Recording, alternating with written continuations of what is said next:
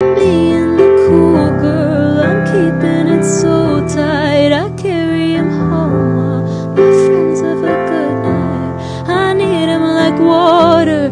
He thinks that I'm all